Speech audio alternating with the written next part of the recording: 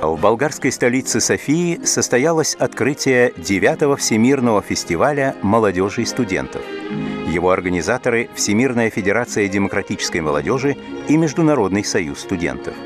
Девиз фестиваля в этом году – «За солидарность, мир и дружбу».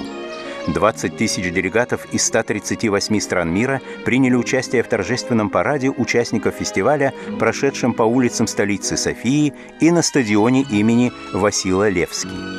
На церемонии открытия выступил президент Всемирной Федерации демократической молодежи Микини. Советская делегация на этом празднике прогрессивных сил человечества самая многочисленная. В ее рядах летчики-космонавты СССР Валентина Терешкова и Алексей Леонов – певица София Ротару. В программе 9 Всемирного фестиваля молодежи и студентов, который продлится до 6 августа, встречи делегаций, семинары, дискуссии по насущным проблемам современности, конференции, митинги, манифестации, а также художественные выступления и многочисленные спортивные мероприятия.